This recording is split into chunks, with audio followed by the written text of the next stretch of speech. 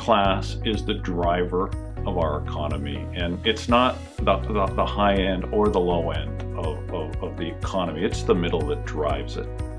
Well, I sit here before you today with really wearing two hats. Uh, number one, I'm the uh, founder and CEO of the Castle Group, and we are a property management company based in Plantation, Florida. We have operations all over the state.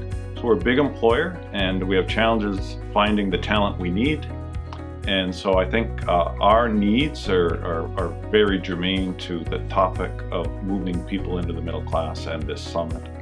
I also uh, am sitting here today as the chair of the Broward Workshop.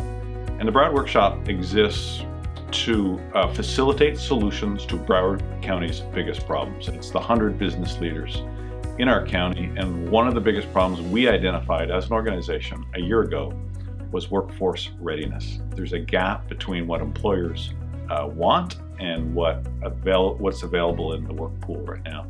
So we can close that gap. I think it'll go a long way to solving this middle class problem. I think the thing I'm most excited about at the summit, and I'm looking forward to, to listening to my, my fellow speakers and panelists, is the first step of a solution is awareness.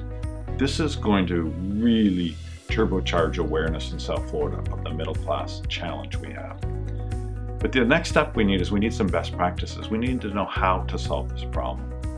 So this summit is going to bring all of these experts into one place and there's going to be a group think on solutions. So I'm hoping not only will this dramatically raise awareness, but it's going to bring together best practices that I don't know yet, and maybe I have some ideas that my fellow participants and everyone should leave these two days with some new tools in their tool belt to solve this problem. The question I had when I first saw it and was asked to participate is, who should be at this event? And my first thought was all subject matter experts, and I look at the panels, and they are subject matter experts. Anyone that comes to this event is going to leave with way more knowledge. I think employers need to be at this event they need to understand how not only they can help solve the problem, but how, how some of the best practices that will come out of this will help their companies. I truly believe that that, that exists. Two, I think uh, the, the, the young generation, the people who, who, who want to move, who aren't in the middle class and want to move into the middle class, should be at this event because they're, they're going to be listening to what they need to do. Uh, one of the my favorite things about OIC is the motto that they, they aren't looking for a handout, they're looking for a hand up. And if they come to this event, that's a step in, in, in getting their, their uh, hand up.